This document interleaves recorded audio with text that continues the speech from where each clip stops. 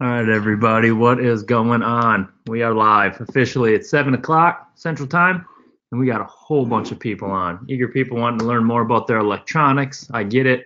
Uh, they're not cheap these days, but man, I tell you what, you can definitely get a bunch out of your investment. Uh, we got a lot to cover, so I'm going to get through it right away. We'll go through everything again. If you're just signing on, I already kind of went through this, but please, please uh, send in your questions. You can see a little question there. Don't use the chat. I won't see the chat, but I'll definitely go through questions at the end of the webinar. Try to address as many of them as I absolutely can. But uh, big time want to want to thank everybody for coming on. This is utilizing maps and Lowrance Electronics. Josh Douglas, FLW Tour Pro, and I'm a bit of a Lowrance guru, electronics guru. I love staring at them. Um, I can spend, I swear, just as much time looking at my graphs as I can actually catching them. I absolutely love it. So uh, let's get this thing rolling. All right, I start out all of my seminars, webinars, anything that I'm doing with electronics. I always start them out with uh, this slide right here: when prep, when preparation meets opportunity. I can't tell you how important that really is. Um, I started out a shallow water fisherman, I did well doing it. About 10 years ago, I got into uh, bass fishing and into tournament bass fishing.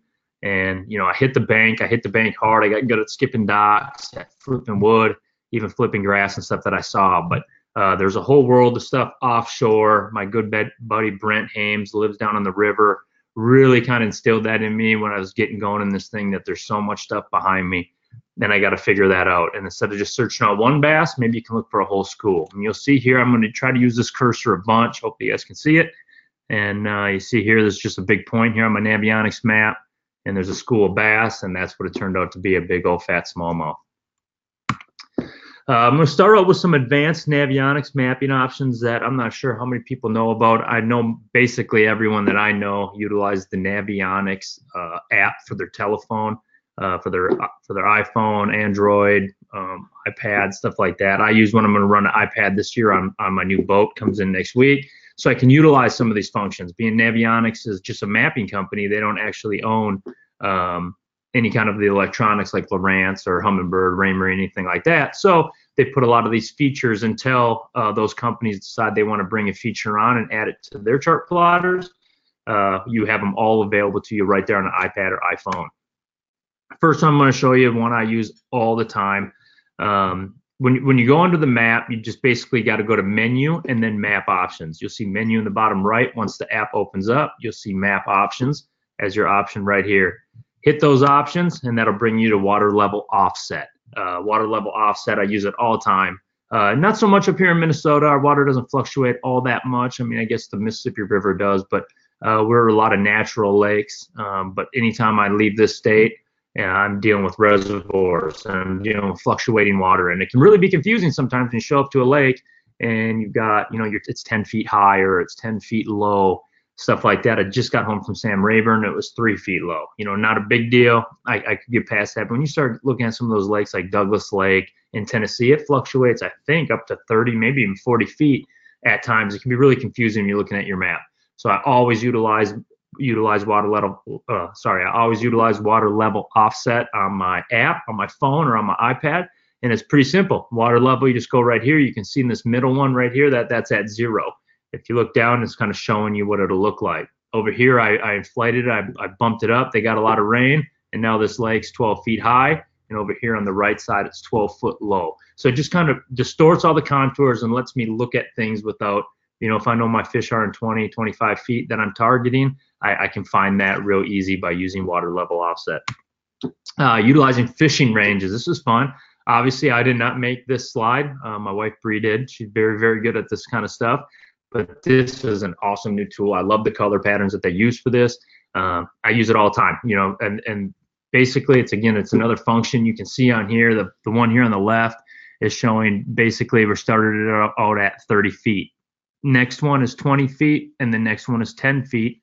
Uh, changing the colors, I picked different colors for different contour lines, and that's going to be your end result down here is going to be, again, if you look back at these ones, you can see the different tones of colors showing me different hard spots. There's a little high spot right here, and all that. And you just kind of go through it, helps me read things a little bit better. Again, I'm going to have that iPad at my face so that I can utilize these functions. And you all can too. The app's like 10, 15 bucks for your phone, 50 bucks for your pad. And uh, I use it all the time. I use it in my hotel rooms, or I should say my Lance camper now. I use it at home. And a uh, great way to study maps, all that is using the maps. Map reading. Map reading is super duper important. I talk about it all the time. Contours, I mean, my Lowrance units, they'll find everything. I can sniff anything out. I swear I can find it, but I need my map to first know where I'm going to go to find something. Otherwise, I am literally guessing. The water all looks the same from the top. So utilizing your map is very important. And some of the different things you can see is like, here's a creek channel. This is uh, Sam Rayburn Reservoir my boat right here just came over this creek channel and you can see all the life that's on that actual channel there on my sonar to the right. Utilizing tools like these to find these kind of creek channels uh, big time important maybe over here where the creek channel bumps a point that could be something you know a good point when those fish are staging to move in. Um, definitely uh, something that i use. Again with contour is so important. You're talking about hard bottom. Uh, you need contour there. I've always used this as a reference but if I build a, a sand castle and then the tide comes up, the tide's going to flatten out that ice castle like it never ever happened. It's going to be a bowling effect, and that's what happens with water as the waves move all around with the north wind, south wind, east and west. It'll bowl everything. Now, if I took that right where that sand castle was when the tide was back down, I put a rock there or a couple bricks, and the tide comes back up and the tide goes back down. Those bricks are still going to be there because they're hard. Um, that creates hard bottom. So finding contour, sharp contour changes, stuff like that. In this case, here's an old road bed that goes underneath, uh, goes swoops right across this bay, and you can see it right on the right. It just comes up hard. Over time, the water can't move that. So finding my mapping, uh, I do a lot of electronics training. It still baffles my brain how people uh, aren't utilizing one foot contours stuff like that to be able to actually find places to start. You know, you got a bass brain, you got a walleye brain, whatever it is, you know how to go and find those fish. You know what they like. The contours will show you places to start.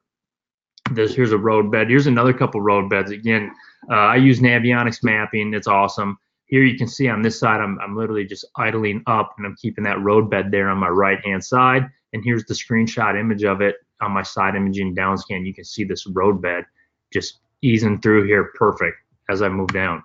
Uh, you can also find sweet spots on these. Here's my here's another screenshot. I cross over a road bed and looking on my left, it says on my Navionics map there's a submerged bridge. Here's that exact same screenshot as I idle past it. You can see where the creek channel came and went right underneath that bridge.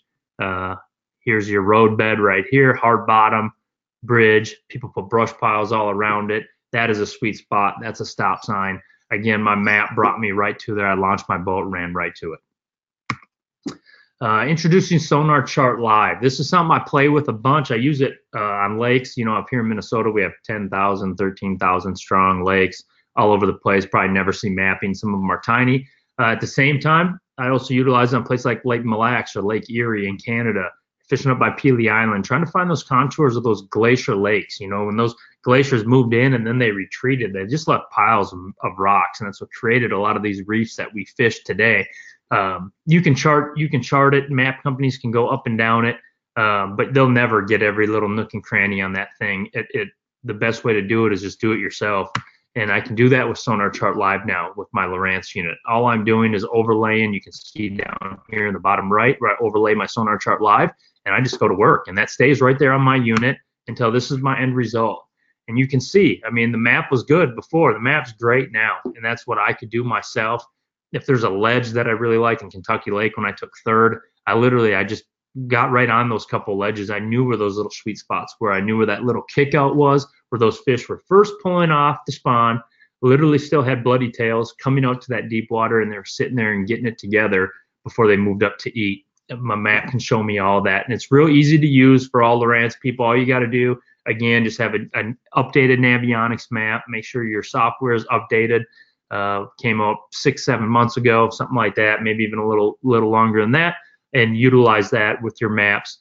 Make your own. It stays right on the unit. You can upload that to Sonar Charts. You can share that, and then also utilize other people's, and really make yourself a super HD mapping, uh, one foot contours.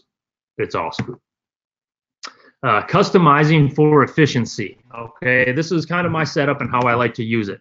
I'm going to utilize all of these at my face at all times. Okay, I'm fortunate enough I can run two graphs at my face. I see a lot of people do these days. If you can, it's cool. You can still split up a Lowrance uh, four different ways and all that. But what I want to see in front of me at my face at all times is I need to see my map. I need to see a traditional sonar down scan. There's no replace for either one of them, and of course my side imaging. Uh, my side imaging shows me so much. Rarely am I actually looking for fish. Of course, I see a lot of fish. Fish helps. We're going to cover a lot of that today. But most of the time, I'm looking for their home, where it is that they live. Uh, good stuff like that. You can see here, this big rock sitting off of this reef drop. There it is again. Here with my map, and over here you got just a random fish that's swimming through. Looks like a spotted bass fishery to me.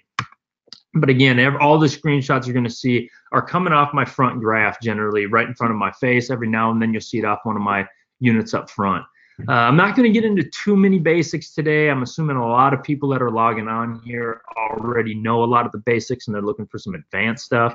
Uh, but I do want to kind of cover some of the stuff with with some basic stuff. So we're seeing this with side imaging, basically, if you imagine you're you're in a dark room, lights are off, shut off, and you have two flashlights like this, and you're walking through the room and you're illuminating everything that you come through that that uh, those flashlights. That's how you're going to see it. If you can't see behind something, it's because there's a shadow there. Uh, if you look here to the left, this would be roughly where my boat engine would be, and this is my freshest data coming off of back by my transom. Here's my freshest reading right here. Uh, these are boulders, bigger rocks sitting out there, and you can see the shadowing. You know, if if if I'm if I'm scanning that and I'm going to light up one side of the boulder, but I can't see what's behind there. So angles are so super duper important. I'm constantly idling back and forth, looking at stuff. Uh, sometimes maybe I'll even blow it out. I idle it so much. I just get to know the area. I'll come back later on. Uh, with Lowrance, again, they don't miss nothing, even on down scan. So here I split this rock in half. That's the same rock. It's just literally right underneath the boat. Um, but I can see it on both sides because I went right over the actual top of it. You know, here's rock, stuff like that. Um, that's basically what I'm looking at when I'm looking at a side imager. Contrast. All everyone always asks me when they buy my boats, when they do electronics training with me, or just ask me questions at the boat ramp. Everyone wants to know my settings uh, I'm a Lowrance user. I, I, basically keep my settings uh, exactly the way they come when I open it up out of the box. There's a couple little things I might tweak, um, stuff like that. I might, um, but as, as most part, the only thing that I really get into and change right away is my contrast on my side and my side imaging. Uh, basically, what you want to do is everyone's used to photos these days. You can blow an image out. Um, you know, too much light. In this situation right here, my contrast is way too high um, both of them. I can't I can't see very good. I'm, I'm whitening out everything. I'm making making it ping back a little bit too strong. Uh, ideally, you want a nice contrast setting right around here. I take it out of auto and I just play with it. And I'm, I'm playing with it every day. Basically, I, I, sit there and I move it back. It might just be a degree or two uh, percentage change that that I like, but every lake's a little bit different how I'm viewing things might be a little bit different that day with the sun, stuff like that. So I'm constantly just, you know, playing with my contrast. Again, not constant, but maybe daily. Every day I'm out there, I'm just kind of tapping my contrast up back and forth so it, it fits my eyes that day the way I want to see it with my sunglasses on. And uh, again, that's you kind of play with that setting. So you get a nice, you want to see them whites, but you don't want to see too much white.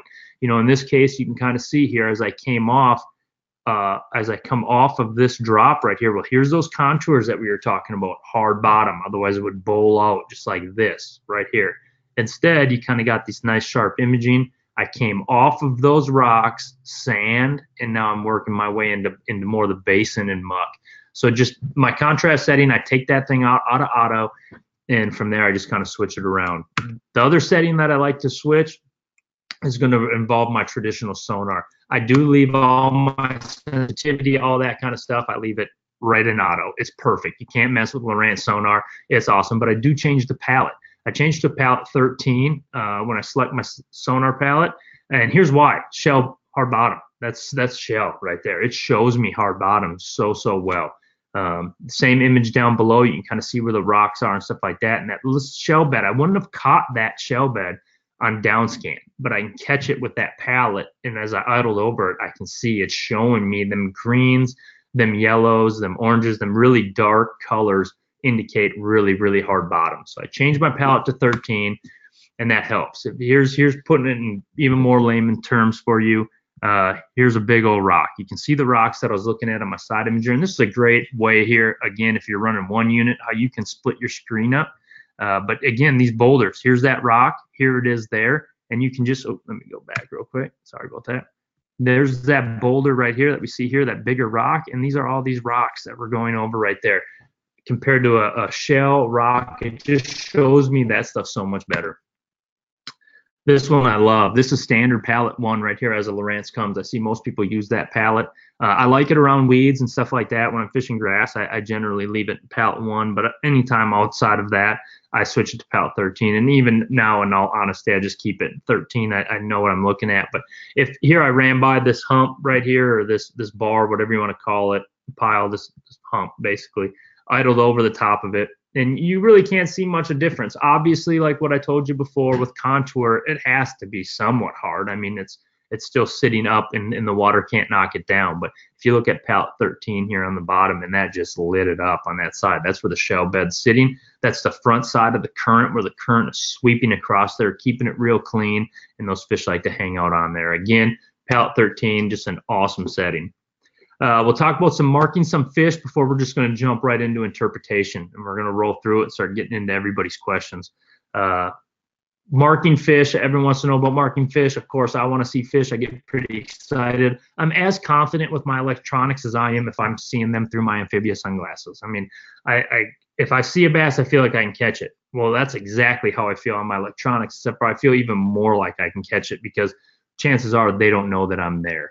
And in these images, they come different ways here that you can actually see the um, that you can actually see the fish. But here's a couple on the bottom. It actually looks like two to me because it's split right there.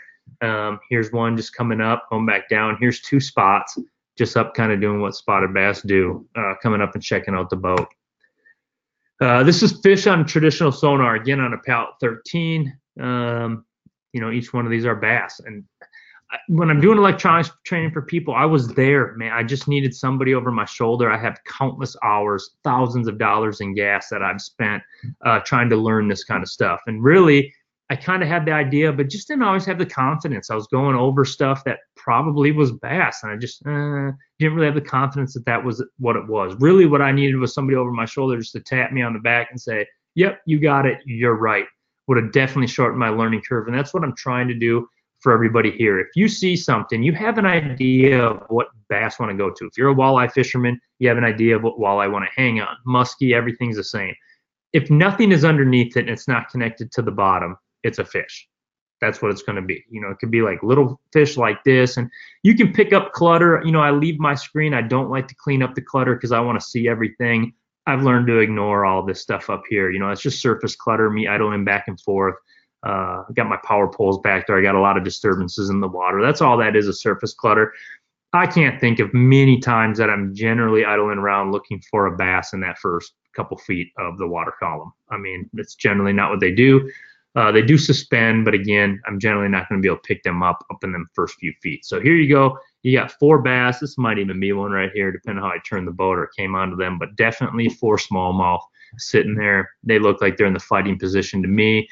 Uh, if they're not on the bottom, you know, again, I use a hydrowave a bunch. Anything I can do to try to stimulate the environment and get those fish to get off the bottom. You can see if you were to take this bass right here and just put him down on the bottom, I wouldn't be able to separate him off of that. I, I can't tell he's there. I have no bottom separation at all. No target separation because the rocks are going to be harder than the fishes themselves. So anytime I can get them up off the bottom, all the better. Down scan and side imaging side structure scan, down scan. I mean, here you're looking at it. This is actually, ignore this. This right here is a prop of somebody else that's uh, right alongside me, I believe. I don't know exactly how that works. Yeah, that's that's exactly somebody's uh, uh, prop idling next to me. But you can see these fish here on side imaging. They just stick out, and you can see them same fish down here on down scan. Uh, down scan will give me a little bit better target separation um, than that of traditional sonar. Uh, definitely will.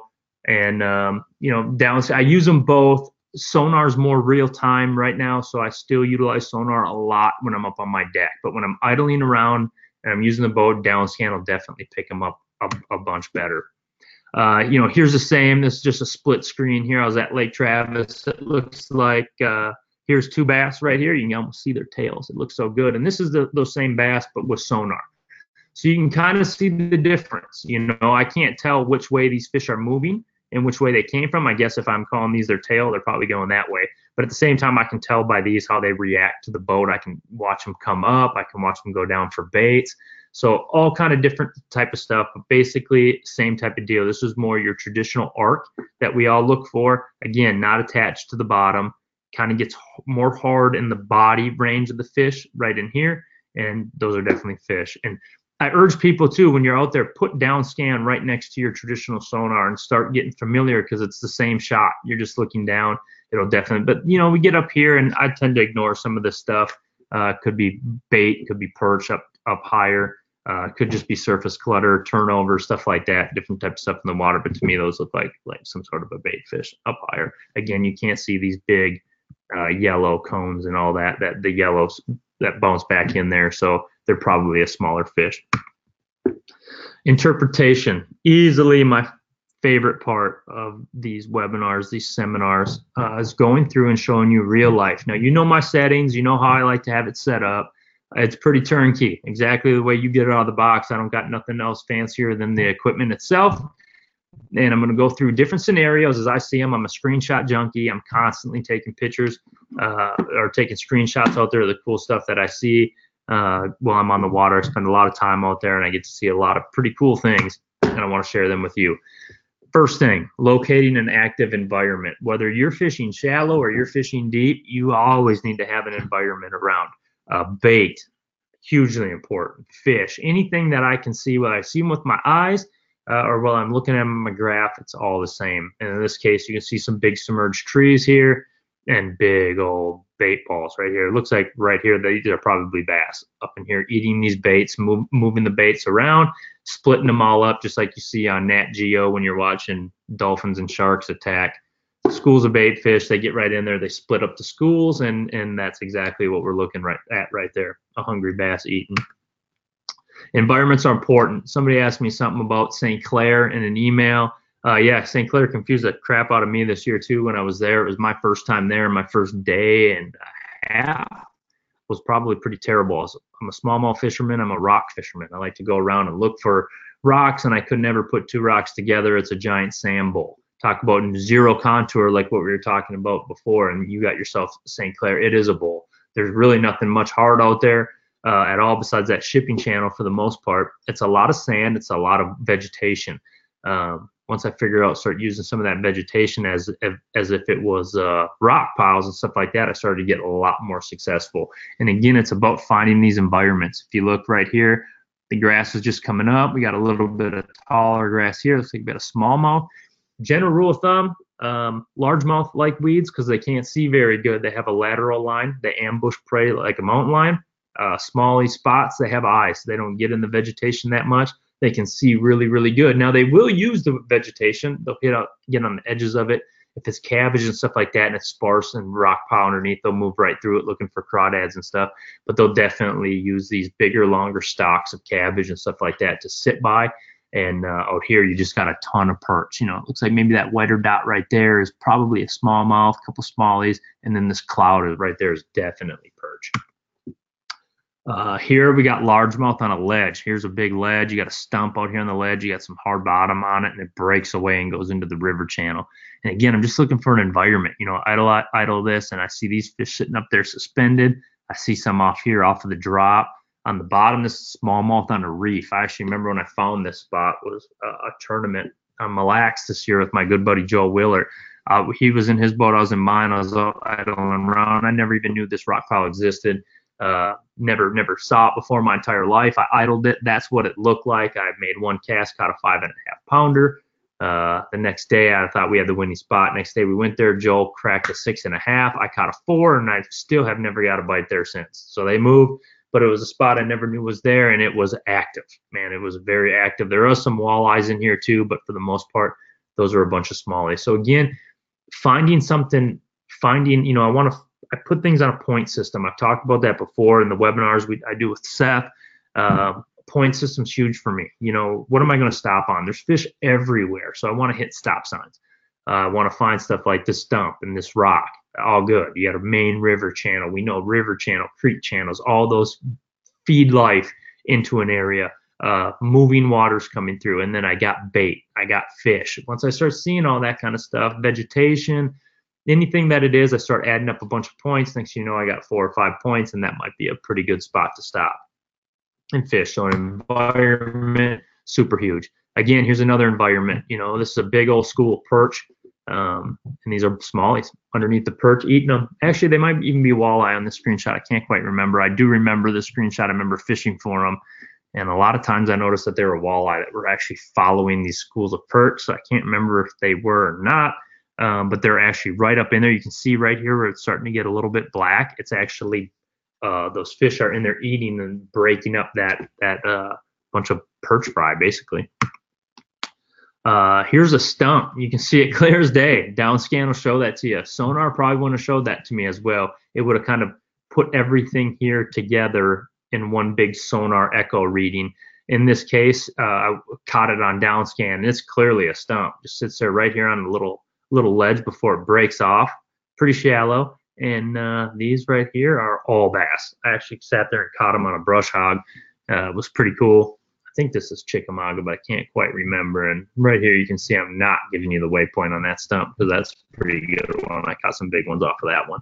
Uh, you'll notice here I'm using palette nine uh, these days a lot. I, I change that sometimes. I play with stuff depending on what that lake looks like to me. But lately, I've been really digging palette nine. Um, again, just stick with something. You know, that's one thing I tell everybody stick with something. If you're side imaging this day, you know, I'm using a 3D, I can easily shoot 160 feet off each side if I want. Generally, I keep it at about 120, 140, 100, somewhere in that range. But I urge everyone to keep it there because that's how you learn where things are in relation to you. If you if you keep it at 100 and you learn on 100, you'll know when you see things off to your right, off to your left on side imaging, you'll kind of have an idea of how far away that is from you when you actually start to turn around and fish it. Now with point one pucks and stuff, I can I have buoys in my boat, but I can't tell you last time I threw one. Um, I know where right where I'm at with GPS. The point one shows me what direction I need to be aiming as to my waypoint that I would have put on that stump, and I can sit back off of that, you know, a good 25 yards, 20 yards, make a cast at that stump, start pulling all those fish away from it. Uh, here's sonar. Uh, you know, this is a fish in, in the vegetation, and, and again, how I can tell here, this is a stock, a cabbage stock right here um, it's connected to the bottom. And yeah, it, it's, it gets a little harder, maybe some zebra mussels or something in there, but it, it gets a little harder, not not crazy hard. A uh, little bit of vegetation here, so we got some bait and some cloudier, some lighter stuff, but right there whoop, is a big green dot right there, not attached to nothing. That's a bass. Uh, again, it's just training your eye to, to see stuff like that. And the only way you can do it is by turning it on.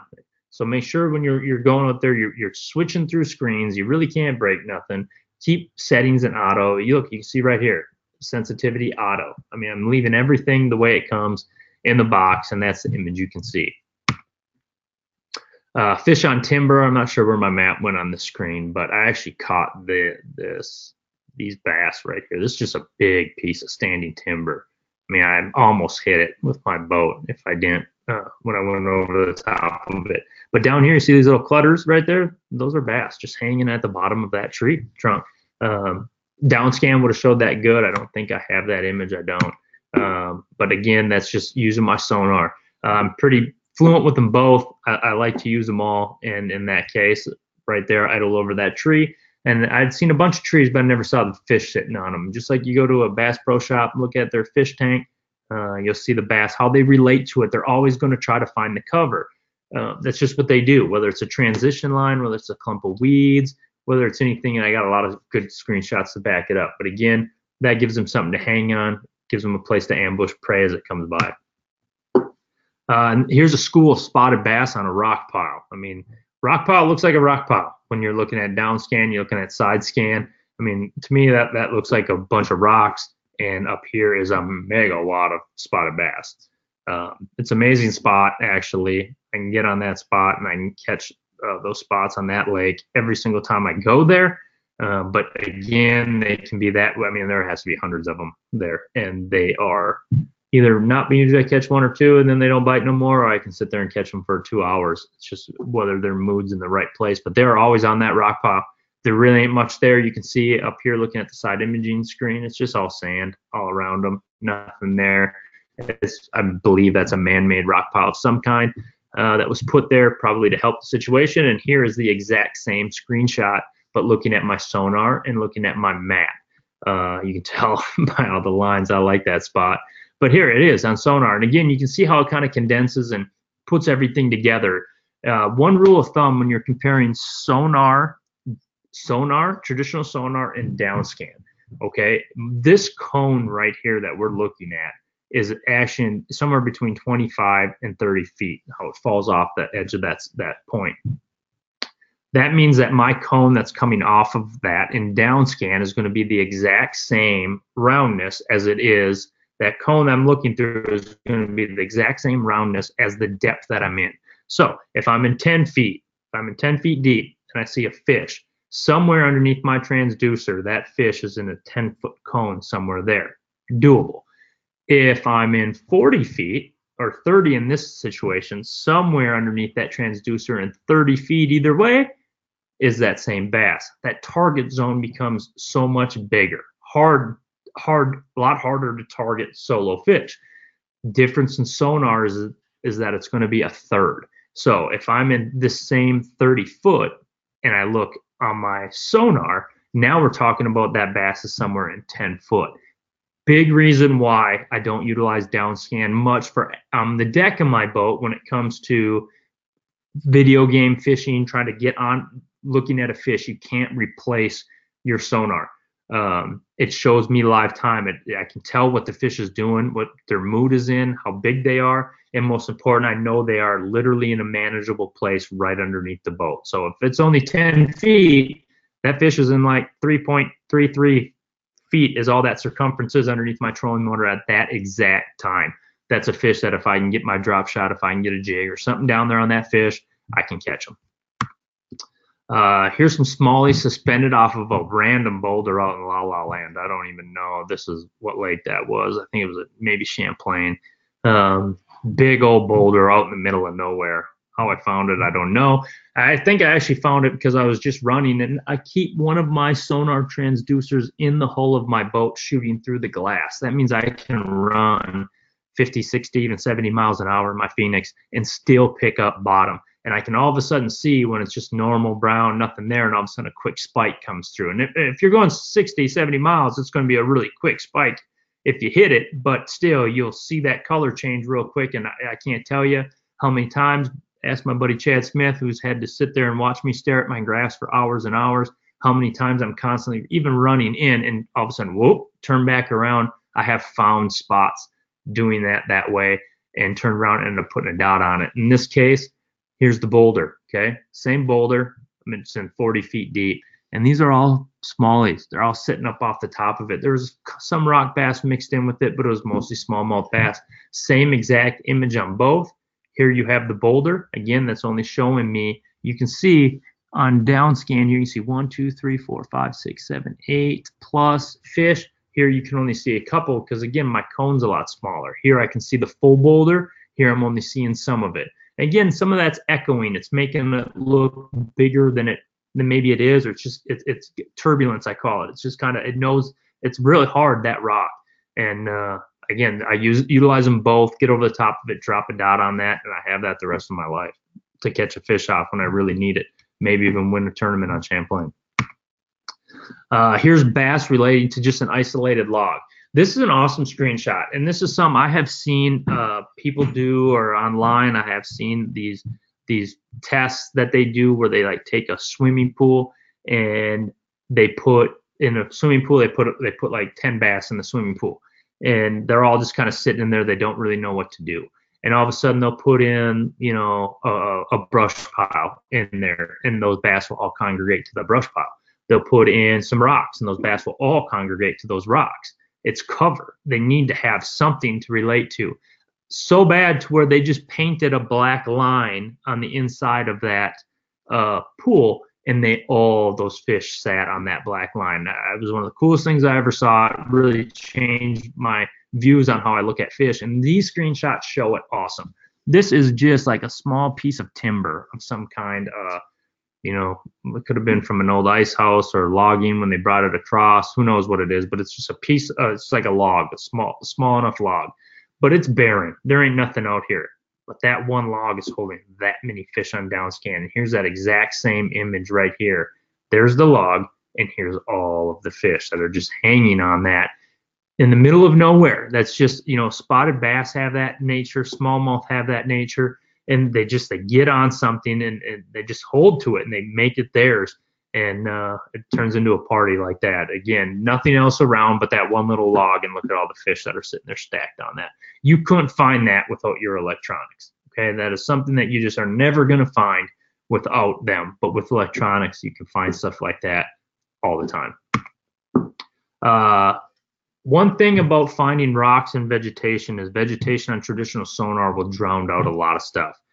You can't really see what's in there. It's really clear. It's like a jungle. It's like trying to look inside the woods at a boulder, but you can't see because there's leaves everywhere and you can't see that it's in there. Downscan will definitely pick this kind of stuff up. And here again, uh, block that out. I know where that rock is. Uh, one of my favorites. Catch big fish off that all the time. On uh, I think it's maybe it's it's definitely Champlain.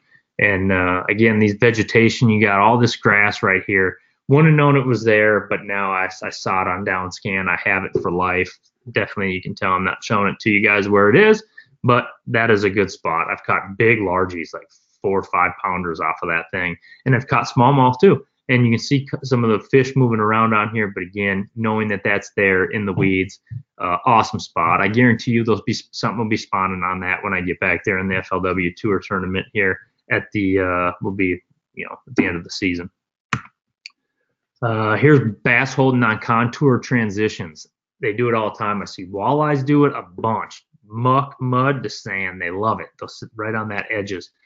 Smallies are the same way. Here it is. This is just a little bit of a ledge, a little drop ledge here. Um, on downscan, you can see them sitting there, and you can also see them sitting there on sonar. But this was an awesome shot. Here I can pick these up because they're sitting up off of it. But I can't necessarily see these, right? Because they're all rock, but these fish are sitting on it, but downscan still has it. I can see them on downscan. I get that target separation. I can pick those fish up.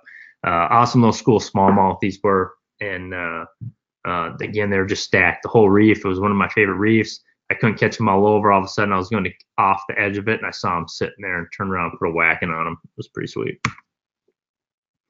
Uh, here's a largemouth up, just splitting a big school of uh, this is just a big school of shad. And again, what I said earlier, that's him, just a just a lone warrior right there, eating, getting big.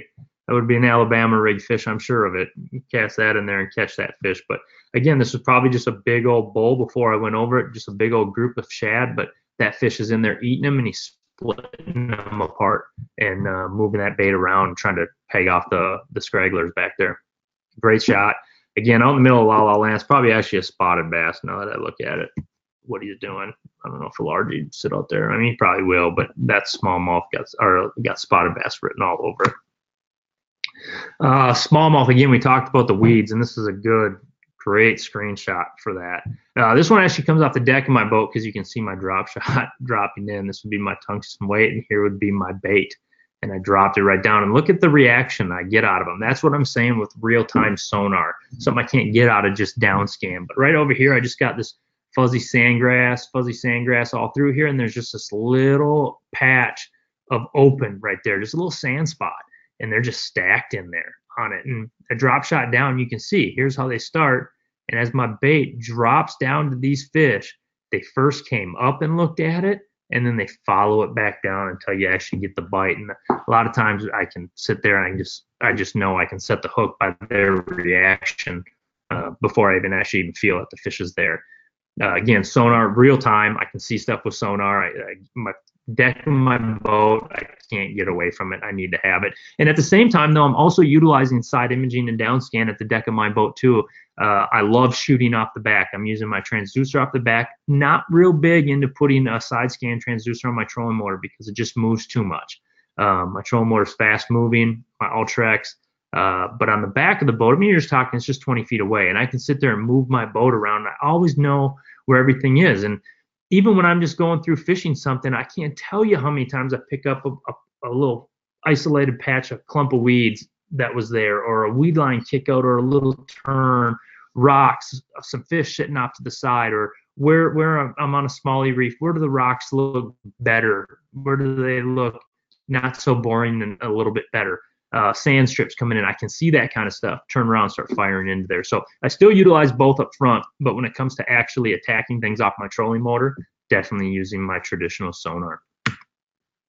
Uh, here's a single bass and brush pile. Now, in this particular brush pile, I was able to see them on sonar it's kind of tough to do. You you can see them because of this cloudiness right here that you're getting. These branches are hard, but they're thin. They've been under the water a long time, but downscan shows them to you clear as day. Here you got you know you got kind of a harder bottom. I can tell this is rock, and again you can see from these greens on here that it, it is rock. And then you got these brush piles. These brush piles are eight feet tall. They come from 16 feet all the way up to eight. But right here is a dot. Now I happen to be able to pick them up here on my sonar too because again these brush piles aren't that thick. Uh, I've seen way thicker, but at the same time, sitting down kind of by the trunk of the tree. And I did pick him up on sonar, and this is actually again my bait going down there to that fish. You can see he went down and looked at it. Uh, I can't remember if I caught him or not, but that was on down scan, just sitting there, clear as day. You can see him not attached. Again, the brush piles are attached to the bottom. The fish is not. Uh, we talked about uh, fish. I'll, again, they'll hold to anything. This is a largemouth bass down in Florida. Uh, here's a clump of vegetation coming out of a canal or something like it, and uh, just one clump of vegetation sitting there, and there he is, sitting there clear as day. But sonar, sonar caught it. But even I don't know if my eye, if I'd have caught that one right away, I might have looked at that as cloudiness. I mean, I can't see the white underneath it, so I know it's not on the bottom. I probably would have caught it, but it just doesn't look like that great of an image to me. And again, a lot of that's in just what angle I hit. I probably came from uh, that side over, and this kind of took it up. I just caught that. But on down scan, that looks like a donkey to me.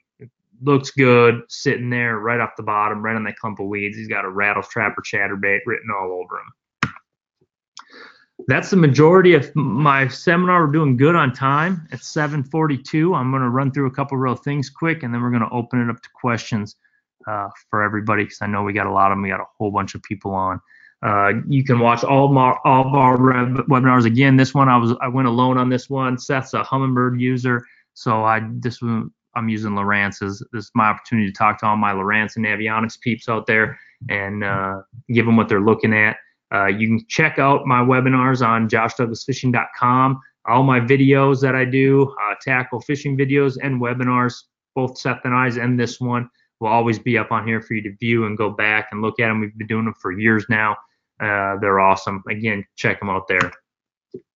I want to thank Lowrance and Navionics. Again, those are what I'm using those are the all the screenshots came from Lowrance and Navionics. And then a big thank you to Bass Pro Shops. Bass Pro Shops sponsored this webinar for you all.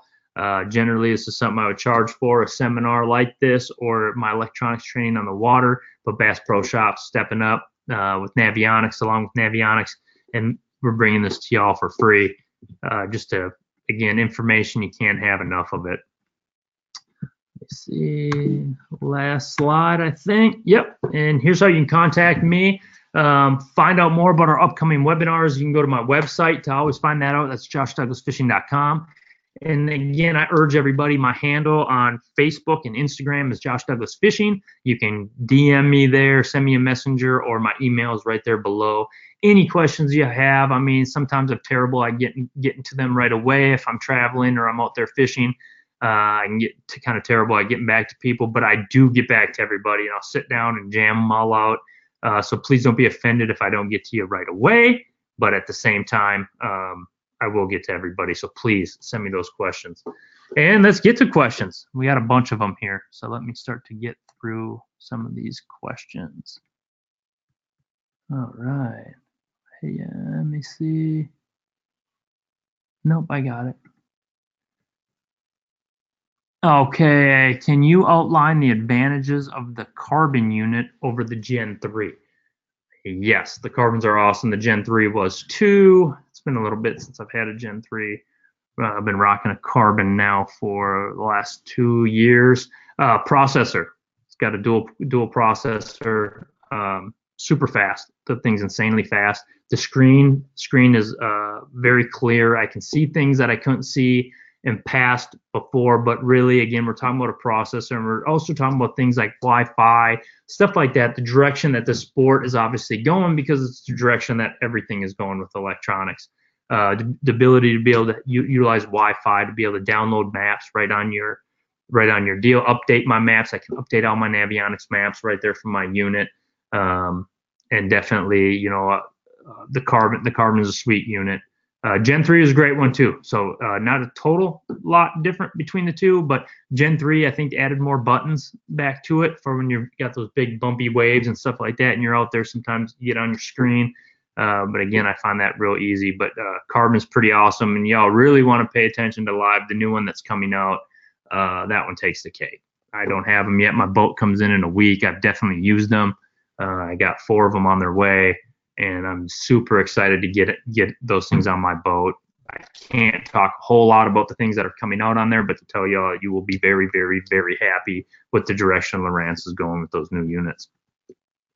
Um, yep, he said I wants to know. Here's the next question. Follow up. You talk about the new HDS Live. It's awesome. I will tell you one thing about it. Again, I can't get into much about it, and I'm still learning a lot of stuff about it.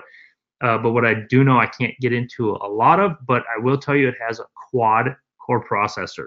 It is super fast. I could not believe how quick it loads up everything. And when I touch and zoom in on it, I mean, I'm in on it like that. I can jump through pages in the screen. They're, they're thinner. Uh, the screen's bigger, feels bigger on there because it doesn't have a lot of the side. It's a thinner unit and uh, crystal clear. I mean, crystal clear. I thought I had it good with the carbons definitely got to check those out. Let me see here. Uh, thanks for hosting. Well, I appreciate it. Thank you. Uh, yeah, what can we expect to see from the new live? Again, uh, I, I, can't get into much. I don't know much, and it ain't that I can't. It's that I want to make sure I'm putting out accurate information. I should have them on my boat. Um, again, my new boat comes in this week or next week. I should have the units here very soon, get them all rigged up, and I'll be down uh, down in Florida and Sam Rayburn right away after Thanksgiving, putting those things to good use. And uh, I'll probably have to fire up another webinar for us and talk about nothing but live. Um, is there a way to transfer waypoints from the Navionics app to the HDS unit? I believe you can through Plotter Sync. Um, you can do a lot of stuff through Plotter Sync. Uh, I don't do it much just because I'm always saving my waypoints to my unit, so I should know how to do it better, but I don't. Um, you know, if I have a waypoint, if I save something on my map, if I, you know, I'm looking through the app or something and I save something, I just end up manually punching them all in. But Plotter Sync, you can do everything. You can update your maps. There's so much you can do utilizing Navionics, Lowrance, and Plotter Sync. Um, how do you activate fishing ranges on the app? It's currently faded non-active. I think you have to pay for the sonar chart feature for the advanced mapping options. You got to buy advanced mapping options. I think off the top of my head, it's $5.99. It comes with a bunch of options. That is one of them. So definitely make sure you get that. That's why you don't have it. Can I use fishing ranges on my HDS Gen 2 Touch? Thanks, Kent. Kent, no, you can't. I wish you could. Um, again, that's a Lowrance thing. Lowrance doesn't own Navionics. Uh, so they don't allow it as of right now or haven't turned that feature on. Is the feature available? Yes, Navionics definitely has it. That's why they utilize it on their app. Um, it could go on to Lowrance units, but that's something that Lowrance has to open up, and Navionics they got to agree to terms on that. Uh, it's way over my pay grade. I'm not sure how none of that works, but I will tell you both of those companies care more about their consumers than you could possibly imagine. Um, I always urge people to simply just send in an email and request it they don't know you want it until you request it. So I would do it to both Navionics and Lowrance when they're sitting down at tables negotiating what they want to do. If they find a need for that and are able to make it happen in the first place, uh, then I, I could see that happening. But again, you have to urge them. They care about consume. They care about their consumers and they value their consumers enough to uh, take in their input for sure how do you find creek channels? My Lowrance Gen 3 does not have the orange lines. Uh, it does actually, as long as you have a Navionics card in there and it is uh, you got to turn on the colored seabed. It's called. It's going to be under highlight the map, your Navionics map, so that orange or yellow bar goes around it, and go to map options. And it's one of those two options. I can't think of it off the top of my head, but there'll be colored seabeds, and you activate that. When you activate that, that'll throw up like that, all that green, like I just had at Sam Rayburn, shows me where the old forests are so that I know that when I run in there at 70 miles an hour, I might want to, you know, shut her down and idle through there because there's standing timber everywhere. It'll activate the creek channels, all super important, uh, especially spawning time of year. Pre-spawn, those fish are going to move in. They're going to follow the creek channels into those flats, and I just know right where they're at. I can start right on there, start whipping a trap around until I start finding and locating the school bass. So definitely activate your make sure you have your Navionics card in and activate your colored seabeds and you'll have your creek channels. It'll, it'll throw a bunch of stuff on there. Uh, same question again, creek channels on the uh, HDS Gen 3, same exact question uh, by Bill Beer. Bill, make sure you get Navionics card in there, activate your colored seabeds.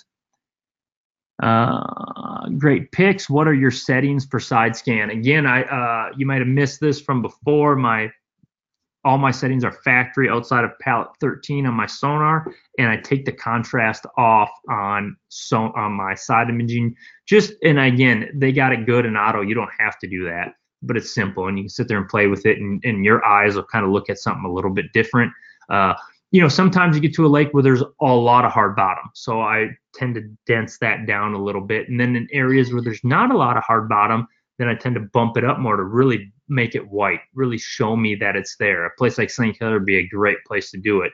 Really kind of show me that those rocks are in there. Uh, what print transducers do you feel perform the best with the Gen 3s? Uh, well, up on the front of my boat, I, I don't, I use an Ultrex, but I don't use the sonar. I do keep a cable there in case something happens and I break my transducer off, but I just use a, a standard 83-200, the little puck one. Uh, I put that on my trolling motor. That's what I use there. I use that same exact one, and I it is uh, in the hull of my boat. Um, I put it inside and shoots through the fiberglass, and that way I can go through weed beds. I keep an image when I'm shooting. Uh, when I'm running on pad, I still have an image. All that I like it when it shoots through, it doesn't get drowned through. And then I'm I'm on mine right now in my carbons. I'm running the 3D uh, the 3D structure scan. It's awesome. It's like structure scan on steroids.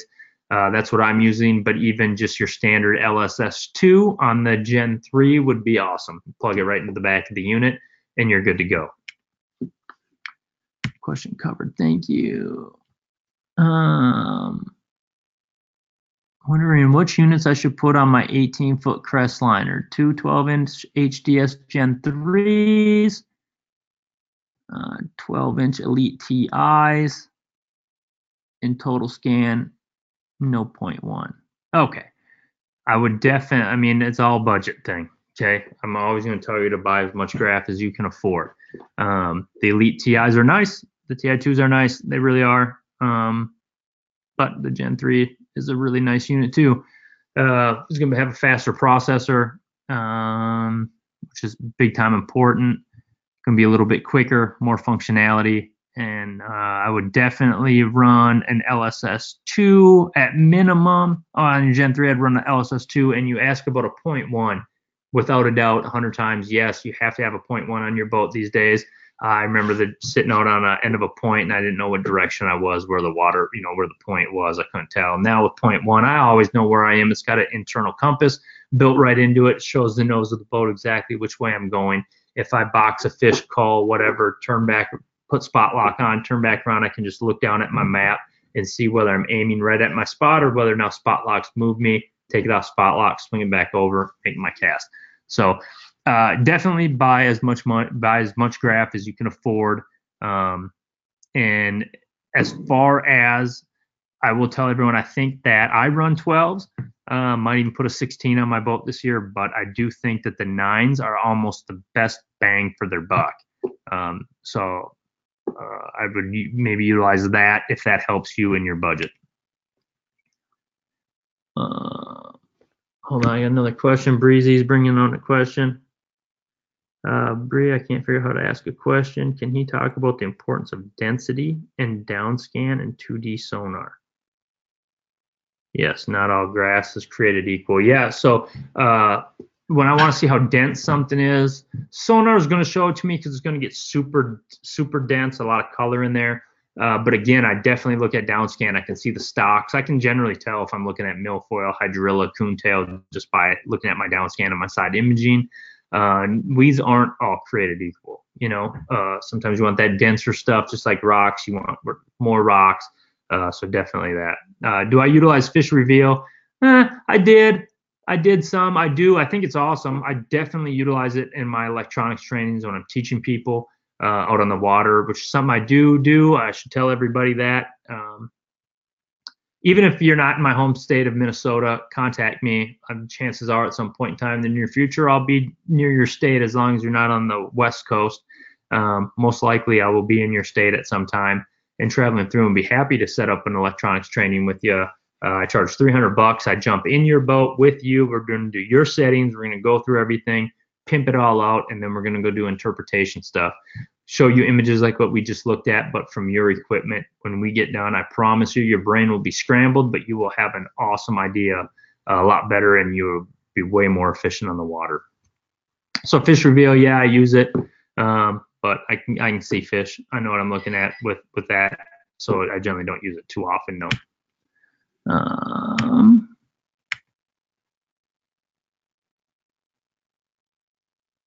Uh, is there a way to set the regular sonar to only show the bottom 15 feet of the water column?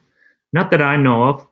I'm not sure why you'd want to in the first place, but um, you know, you can see fish come up. I, I think I think maybe I'm guessing that you don't like the clutter up top, and it's just something that I promise you you'll learn to ignore. Just there's not much up there, but sometimes I do want to see. But yeah, um, no, I don't. I don't think there is, uh, but I've never tried.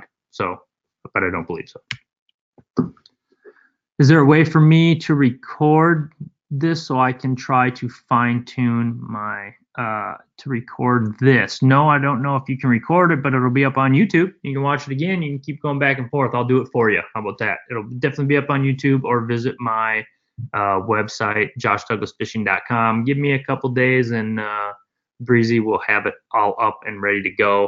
Uh, I think you can watch them on Navionics too. So go to navionics.com. You can watch them there. Uh, do I use a different frequency on 2D on the console and front unit? I don't. I keep everything the exact same. I think it's it's spot on. Lowrance's dialed. They're known for their sonar. I've looked at other uh, sonar from other companies, and I definitely think Lowrance is by far running away with their sonar. Uh, nope, I just keep it. I just keep it. My, all my settings are are um, literally except the couple we went through. They're factory settings. Uh, how do I break down a large submerged grass flat? Great question. Um, I have learned over the years, and my results in tournaments have gone way up because of it to move more water and move more water faster. Um, flats, on the other hand, can be sometimes I used to ignore them, but they're the dinner table, so you can ignore them. You got to get up there. Uh, generally, what I'm going to do is I'm going to kick my side imager on about you know 100 120 it's a grass flat so i can't see through the grass too far so 120 feet on each side is pretty good and i'm going to move water i'm going to look at it look at something different figure out if there's any creek channels that run through there again uh, looking at the contour that might be on there if there's a, an old creek channel might not even show a contour change, but it shows you with that colored seabed that there's a creek channel in there. There's definitely going to be maybe a little dip. It might be a five foot flat, and all of a sudden it just goes to seven feet. Could be all the difference in the world. But I do want to go along the flat and figure stuff out. You know, um, looking what's out there, trying to dictate the different. You know, you can see where eelgrass looks different than hydrilla. And if eelgrass is what I want, then I can just idle idle that whole thing, just start dropping waypoints and dots on my side imager in those eelgrass clumps and know where all that is, what I'm targeting. Uh, but again, if it's just a flat and you've looked at it all and you can't tell nothing different, then pick up a chatterbait start moving water. Pick up a top water, pick up something, start moving some water or swim jig. And, and sometimes there's nothing better in the world with all this electronics, with all this that money can buy, than just good old fashioned uh, a little bit of elbow grease, getting out there and just going fishing. Uh, when marking things on downscan, do you put the cursor on the fish or the bottom? Um, I'm guessing you're asking when I'm marking things on downscan, do you put the cursor on the fish or the bottom? Um, if I'm dropping a waypoint, I just hit the waypoint button somewhere in between the fish and the bottom, I guess. Um, otherwise, I'm, I'm going to try to put it on if it's like, I generally am going to put a mark on just a fish, you know, because the fish moves. So I don't want a waypoint on just a fish. Um, I, I might do a temporary one or something maybe, but uh, generally I can just kind of scroll back and turn my boat right back around and then get up on my deck and go find that that fish again if he's not moving too much. If he's moving, then then uh, you know I can only guess which way the fish is going to go. So uh, more so, I, I'm going to drop dots on stuff that looks good that I think is going to hold fish. And when I see something like that, then I just put it on it. So if it's a rock, if it's a clump of weeds, I touch that clump of weeds, hit the icon. I'm big on using Lowrance lets you use a bunch of different kind of icons to put on there. Um, and I use, you know, the grass one for grass, a wood one, like a tree for brush piles, a boulder for rock, and so on and so forth. So I hope that answered your question. Uh, what bait do you fish when fishing those big boulders and weeds? Well, you know that just depends on what what I'm think I'm going to catch there. You know, if it's a smallmouth, probably a tube. I've never met a smallie that won't need a tube. It's crawdad, and crawdad lives on that. Looks like crawdad heaven right there. Uh, that fish can get, uh, you know, uh, if it's a largemouth, probably flip a jig on it, something like that. You know, again, I haven't met a largemouth that won't need a jig. So basically, just kind of getting over the top and um, getting over the top and uh, flipping something on there. Jig worm, jig worm would be one of my favorites. Just an Outkast tackle money jig with a little four-inch Senko or uh, um, something like it and throw that in there. Drop shot, drop shot will work.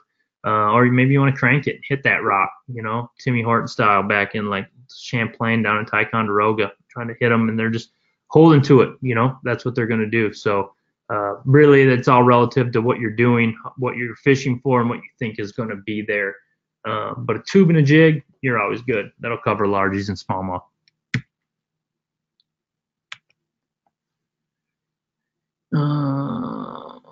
How do I use the range ring to help with your fishing? Kent, can't. Can't. Good question. I think the range ring is that circle that's there.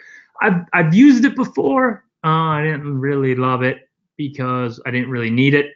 Uh, range ring range ring is meant. If I'm thinking the same thing you're talking about, range rings to show you how far away you are from another object coming up.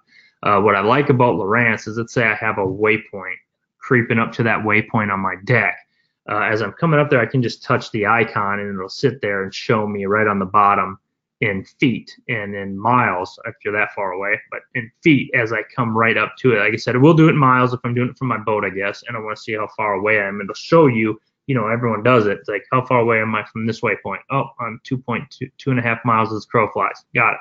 But utilize it even more as I'm approaching stuff like that, and I want to know where it is. So make sure to slow down as they get up there. Being quiet is super duper important. We can talk, talk electronics over blue in the face, but being quiet on your boat and, and letting your and sneaking in and not letting fish know that you're there is by far uh, even more important. So as I'm coming up, I can touch the icon, the waypoint. I can see, you know, I'm 200 feet away, I'm 150 feet away, and I'm 100 feet away, 99, 98 so far until I'm two, three, you know, and then boom, and I'm on top of it.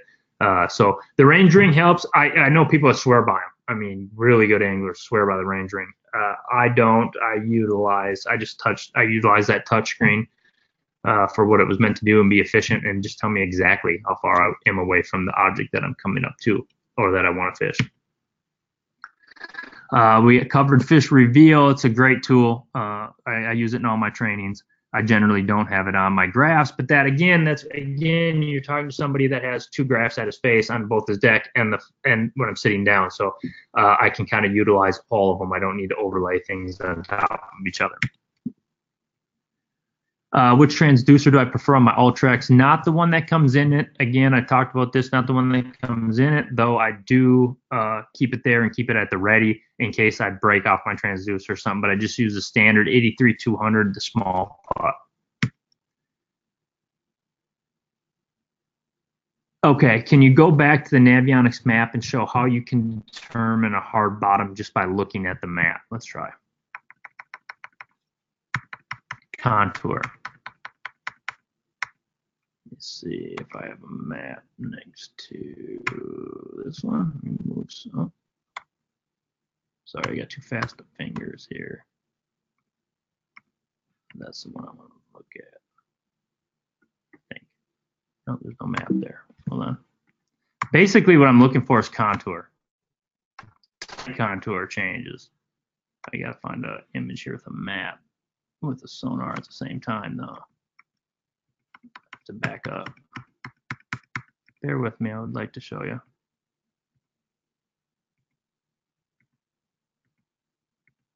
with contour, tight lines, tight contour lines, one foot contour, they're gonna something's gonna be hard there. I don't know if I have a good screenshot of that. Now that I'm looking here, marking fish. Oh, here's one. Again, contour gets tight. If they're spaced out like it is here, this is all the mud basin out here. There ain't nothing out there. It's just slow waved contours that just moved slowly as it came up here onto this reef, this hard point. It says, I think it says hard point right there. As it comes onto this, all of a sudden these contours get really, really tight. So here I'm coming off of it and you can see it's because there's rock there. It can't move. So I'm looking at my map and I'm looking at my contour and that's going to kind of tell me areas to start to look for hard bottom. So hope that helped.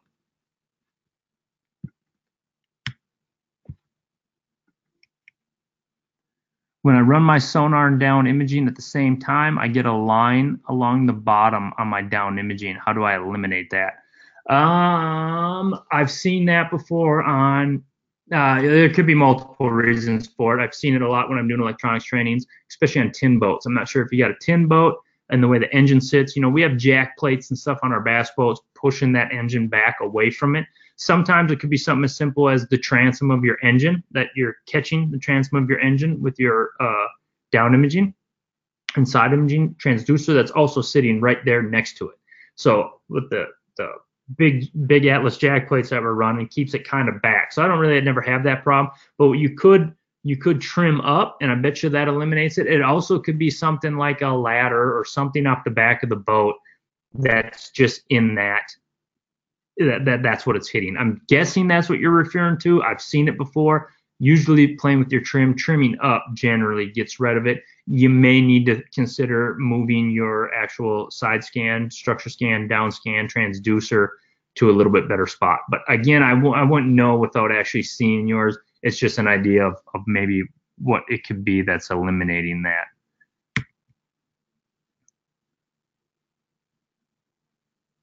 Uh, hi, Josh. Do you feel the waypoints that you mark on your graph are accurate within three feet or more than three feet off target? How do you handle waypoint management for accuracy of cast to the spot?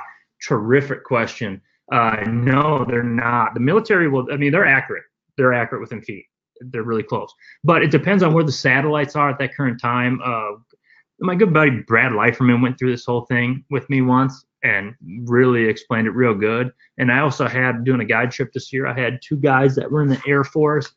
They probably have stuff in the Air Force that they can get uh, dead, dead like that. But at the same time, uh, I don't think the military ever wants us to get that accurate um, to be able to do something like that. So we're always within the satellite range. Some days I notice a little better than others.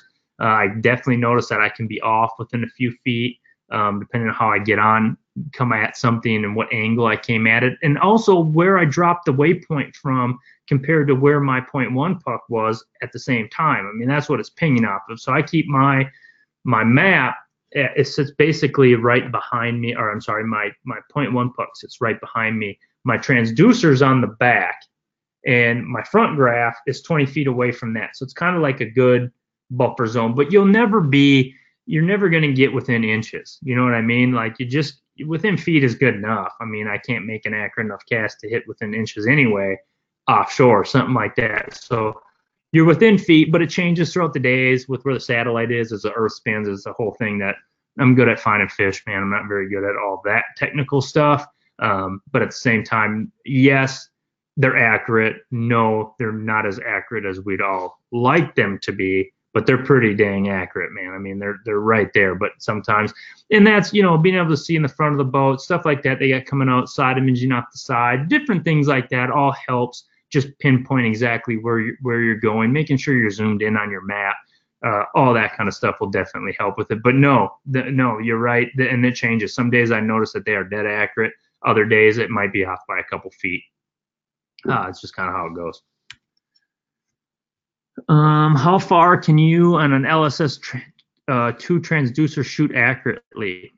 Um, also, what's the shallowest you can use one and still be effective? Okay, there's a big difference, not a giant, uh, yeah, pretty good difference between LSS2 and the 3D. Um, 3D has functionality on it, uh, but it also like gave the side imaging steroids. So um, when I was using LSS2, I want to say I was shooting mostly 80 to 100 feet on each side, even sometimes 60. I know you can do more than that, but with contour changes constantly and vegetation, we're bass fishermen. Uh, depending on how shallow you are, you can't see past something anyway to a certain extent. With the new 3D, I don't know if I'm ever under 100, and I'm usually shooting at about 120, 140, 160, something like that. Uh, again, now I'm in the business of trying to find fish and find fish fast. So I'm shooting farther, and I'll break down with my rod and reel, and I'll get tighter and then use sonar and down scan as I get over the top of something. But I want to do big swaths, just come through and just be able to see big areas. Uh, so I'll, LSS2, let's call it 80. 80 is a good number, and uh, you know, once you're into the 3D, you can definitely do more than that. Um, Dale asks, "What is your method of managing trails?" I, I know a lot more people that manage trails a heck of a lot better than I do. I really don't manage trails. I, I every now and then, like on the Mississippi River, if I'm at a place that's real sketchy to run, once I figure out that I can safely run, I will change and create and save a new trail with a totally different color, like pink, not like the standard black right here that you that that I use all the time. Um, it'll be a pink one and it'll stay there and it'll be overlaid on my map all the time so when I need to get out of an area fast, I mean, I'm a tournament fisherman, so I'm moving in and moving out fast. Uh, I want to be able to just jump on that trail, and now I know I'm safe. I know I've I, have idled that before, probably a couple times. I feel pretty safe about doing it. Outside of that, you know, I've seen people that save trails for vegetation lines and all that, but I just never got in the habit of doing that. Um, weed lines change all the time uh, stuff like that. So I don't manage a whole heck of a lot of my trails. But again, I know a lot of really good fishermen that do. So probably better question for someone else. Um, at the same time, I just utilize that black one that just got the black line right behind it, and that just kind of evaporates and go away as time as certain miles go on. Um, HDS live or carbon. I mean, live, man. I mean, everything's like a phone. Everything's changing so, so fast. There's so much cool stuff coming. That stuff that's cool right away, right off the gate, right when they release them and you can buy them, and then in a year from now. So, um, you know, you can never go wrong with the carbon. Carbon is still new. It's still the active one. They're still selling them. And generally, Lowrance is awesome about uh, doing updates and stuff like that to allow that um, you know, to keep servicing the carbon for a long time. So they're both good. Carbon's got a dual processor, um, and the HDS Live's got a quad core processor, so super fast. If you thought the carbon was fast, the HDS Live is super duper fast. Uh, how do you attack deep weed lines with side imaging? Man, I idle. I idle the side of the deep weed line. It's great for that. It's like perfect for it. It's probably one of the first things outside of looking for hard bottom that I'd use side imaging for. I get it on the side and I can w- follow the weed line. I know exactly where it is then. I can follow that weed line. I can look for points, turns, rocks, spines coming out of them, bluegills, all that kind of stuff, bluegill beds hanging off the side, fish sitting on them, whatever. Definitely utilize it. Keep it on one side and just drive as straight as you can. And that'll keep that weed line there. And then when all of a sudden that weed line turns or all of a sudden makes a little point, you can drop dots, turn around, go back and fish all that. Uh, do you go into zoom on your down scan while scanning or after finding a spot? Um, I do sometimes. I'm just being cocky and I want to show somebody something that I didn't think that they saw. You know what I mean? If I see something or if it's something I'm like, what is that? I might touch it real quick and zoom in on it just to get a better look of it. Um, maybe see if there's a little separation. Man, is that a fish? And see if there's some separation or are those fish sitting off there on the side or are those rocks? I might zoom in a little bit. So yeah, look for their shadow. Uh, look to see if they're up off the bottom. I definitely do it. I, I, yeah, it's there. It's a great feature that you can do. So I, I do utilize zoom, um, but I definitely keep it out of zoom all the time. If I zoom in, it's just temporary. I just zoom in real quick to look at something specific and then zoom back out. Um, I have Navionics on my iPad, but I have Humminbirds and was wondering if I can still use a Navionics chip in my graph and still get to use all the features that are associated with Navionics. Uh, yes, of course, Navionics works in every unit uh, right now except Garmin, I believe. Um, but definitely works in Humminbirds, works in Lowrance. I know this is a Lowrance screenshots I'm showing you, but again, I'm not sitting here. I'm not trying to sell you on Lowrance or Humminbird. I don't really care what you use. I'm showing you what I use, what I like, and hopefully that sells itself to you. Again, auto settings. Uh, with the Navionics chip, yes, you can put them in in everything you're seeing here for the most part with Lowrance. You can do on Hummingbird. Uh, it changes a little bit. Go to navionics.com and right there you can see you know what what uh, functions you have with different units. It's all different. Um, again if there's a function that you want being a humminbird user humminbird cares about their consumers contact them and uh, send them a simple email letting them know that you know you're a navionics user and you want whatever functions those are on those on your humminbird units would make you a, a happier consumer. And hopefully in due time you'll end up seeing those uh, I've never used a fish finder before and just bought a Lowrance hook. Uh, how do you adjust the sensitivity? I'm fishing from a kayak. Man, I am number one. I don't adjust the sensitivity, so I'm going to urge you not to, especially if you've never used it before. Uh, I'm pretty good with them, and I don't. So uh, I would leave it in auto. And how you do it on a hook, I, am not entirely sure. I don't have a hook. Um, haven't played with them too much.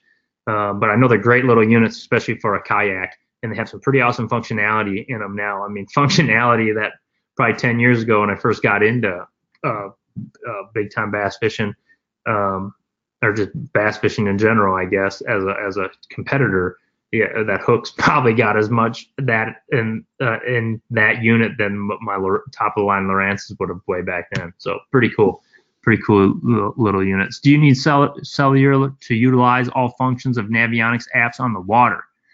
Um, no, you don't. No, you need to download the map. And you know, I, no, I don't think you do. No, you need what you need to do is it's already on the map. The functionality is already all embedded in there, but you have to make sure to you have cellular to download the map. Once the map's downloaded, it's now on your phone, uh, so it's already there. So like I tell people going to Canada, going down to Mexico, and even places in Oklahoma and Rayburn, stuff like that, where I just was, you start to get pretty rural. So just make sure before you go on your trip, while you're at home, you use your Wi-Fi, down download all that kind of stuff, uh, your phones, all that. But once you're out of cell service, that will still be there, and GPS will still be there, so you'll still have full functionality. Uh, is there any way to watch this after tonight? I missed half of it due to work. Thanks for your time. Great tips. Thank you. Appreciate the compliments.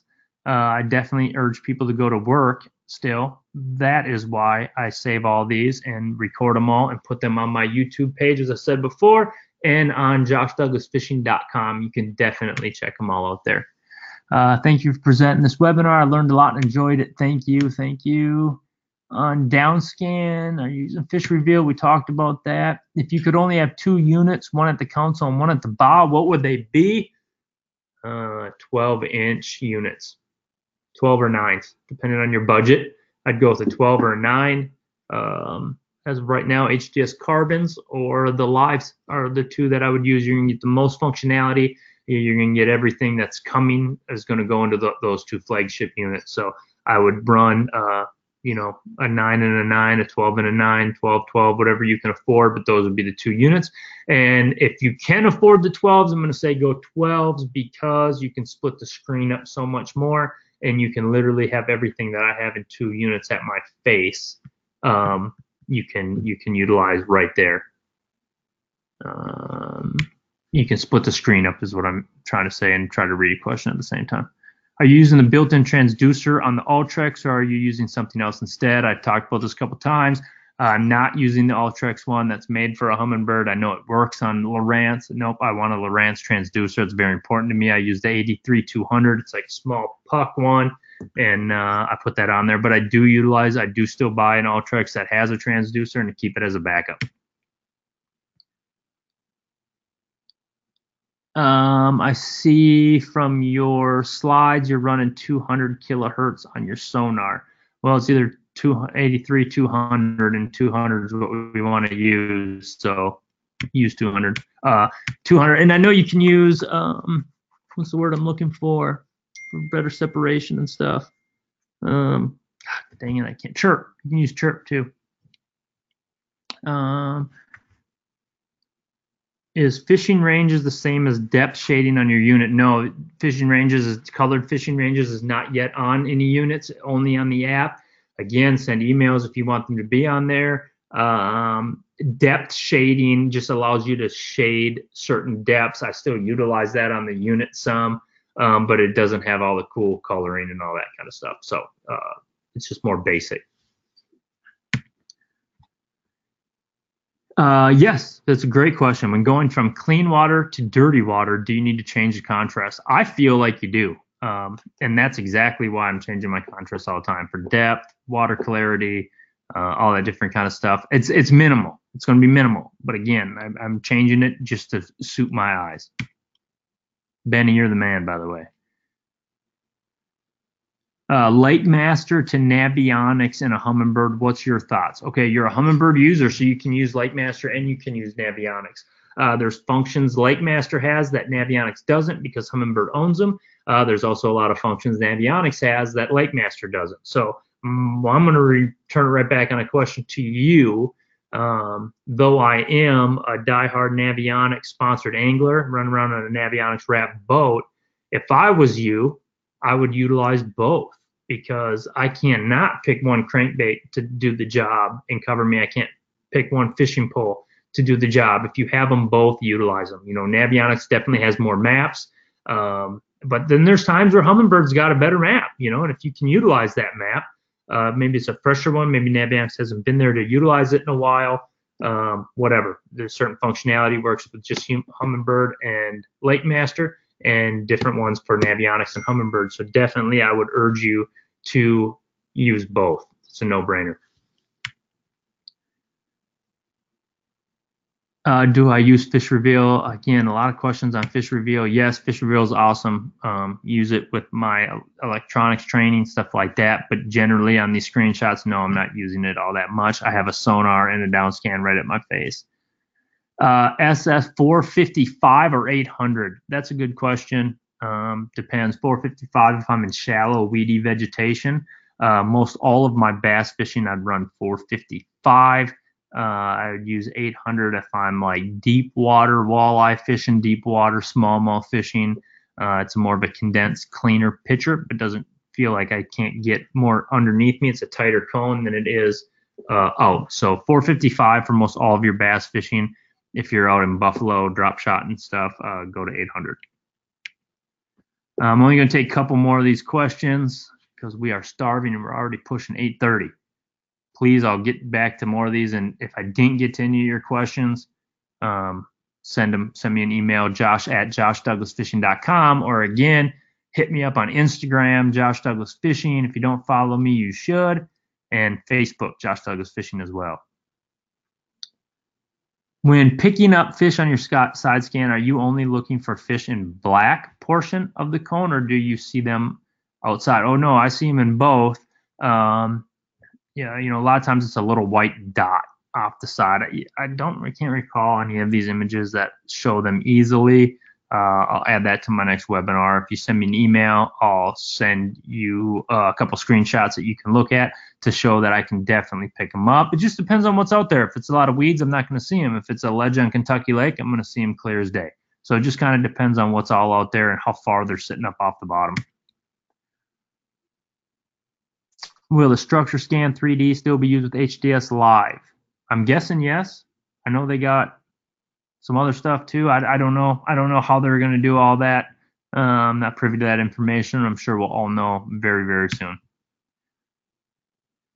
When breaking down a new lake and side scanning, what speed you idle around to get the most efficiency versus image quality? Awesome, awesome question. Um, I generally am idling my G2, Evinrude G2, idle four, five, six mile an hour. Just depends on how boring everything looks to me. I'm probably going that speed. Once I see something I really like, I start to slow it down to two to three miles an hour. And if I see something that I really, really like and I want to get a good look, I'll just click back my uh, I'll just I'll just click it back and just go into idle mode and just literally go right over the top of it as slow as I can. The slower you go, the better image reading you're going to get. Your seminars are awesome. Thanks for taking the time to do them. I really, really appreciate that, Bill. Thank you. Question covered.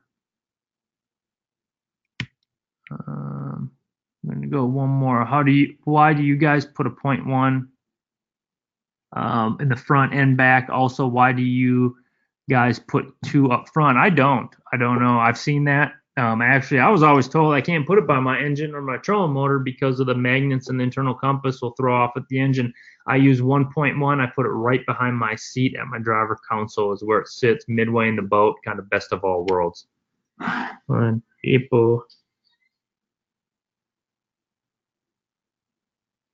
Um, somebody answered a question for me. Brent Hames said you can focus on the bottom of the 2D sonar by hitting zoom on 2D highlighted screen, split screen, but whole screen.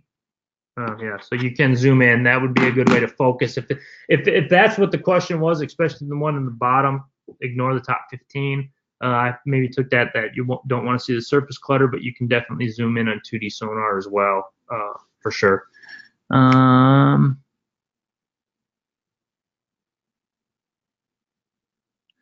Man, this is a technical question, and I know everyone thinks I'm very technical. I'm not. People got to fix my stuff. People hook my stuff up, but I'm just really good at breaking stuff down and knowing what I'm looking at and teaching people even better. So, uh, someone asked 3D installed. If I add live, which has it built in, will 3D SS still network? And that is something that they're doing. I know they're getting away from the 3D box with that unit, but I, am not yet sure. I don't want to answer those questions until I have my own unit and I know how to answer them. Uh, you have the info on the new we talked about live. Uh, on your new boat, are you doing dual 12s? Now we're talking. Let's talk about the new boat, the new Phoenix. Are you doing um, I am contemplating right now. I run two 12s at my face and two 12s at my deck. If I, I, I really only run the two up up on my deck uh, when I'm deep fishing. Once the deep part of the season comes, spring I only run one. I can split up the screen however I want. I'm highly considering running the two 12s at my face and a 16 up front, maybe still a 12 uh, come smalley season. I haven't decided yet uh, I'm very much thinking about putting that big 16 up there uh, on a Kong mount and uh, rocking with it because I had one on for that video shoot with that we did with Lowrance uh, with the new live that's coming out. Uh, they put one of those on my deck and I did not want to give that thing back. So I'm kind of thinking I might run a 16 for the first time on this new this new boat when it comes in. Uh, yep, the question thing working.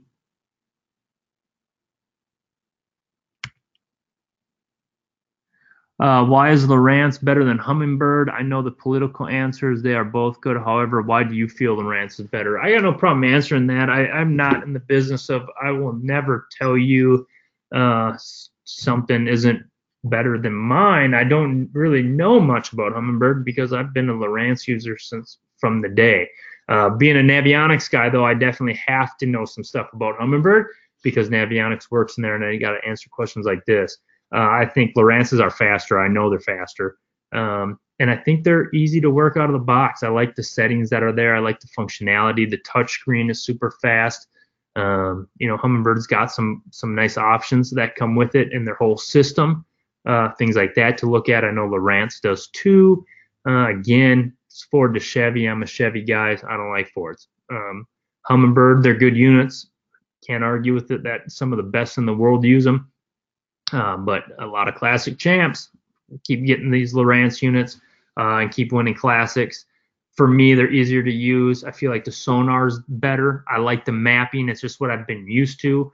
And now I'm just privy to some of the information too that's coming out and what Lowrance is coming out with in the next year or two. And I just, the direction that Lowrance is going is very much in the direction that I want to see that com- the company go to. So for me, uh, I'm not giving you the political answer. All these units are awesome these days, uh, but in my opinion, Lowrance is the best. Yes, I use side scan around weed lines. We talked about that. Last question, for real. Uh, last question. When you get your new boat rig, do do a YouTube walkthrough explaining the what and why, what you learned in past installs? I will do that. That wasn't a question, so I'll do one more. But thank you for that, JW. I will definitely do that. Uh, uh, this question right here. Oh, yeah. And uh, is there anything specific you look for on mapping to find smallmouth on Erie? I look for rocks. They got cool rocks on Erie, uh, glaciery, weird, flat rocks, crumble off, big rocks off the side of them. Uh, I can see the fish there, um, definitely. Uh, but I'm looking for rock and I'm looking for fish, and uh, that's what I'm looking for. Clean water. I, I like that when I'm fishing for smallmouth. Uh, that's it for this. I'm going to drop the questions from here. I'll try to run through some more of these. If, if I didn't get to your question, if I didn't explain it the way you wanted me to explain it, please by all means contact me. Again, Josh Douglas Fishing is my handle on Instagram and Facebook. Josh at joshdouglasfishing.com is my web is my email, and joshdouglasfishing.com is my new website we just put together.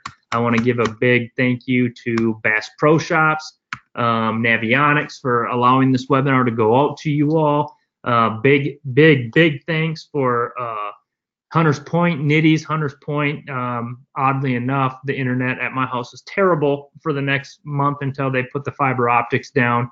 I live up in rural Minnesota, right by Lake Mille Lacs, and this I couldn't, I can't even barely update my Instagram feed some days. So they let me use this awesome house that we're in right now. It has super snappy uh, uh, uh, internet for me to be able to do this. So big thanks to them. And then again, Bass Pro Shops, uh, Navionics got behind this, Lowrance, everybody, and of course all of you I can't believe how many we got to come on for this. Eager people looking for more information, still hanging on right now to hear me just go away from it. And a big thanks to Breezy D Media, aka used to be known as the Fisherman's Widow. Now we roll around in a Lance camper, so she's always right next to me. She's the furthest thing from a widow now. Uh, she gets to smell my fish slime on the daily basis. But trust me, I can't put these things together. Bree definitely does them uh, and does a great job at doing them, bringing them to you guys. So again, any questions, hit me up, guys. I love you all. Thank you so much. Tight lines. We'll see you guys soon. See ya.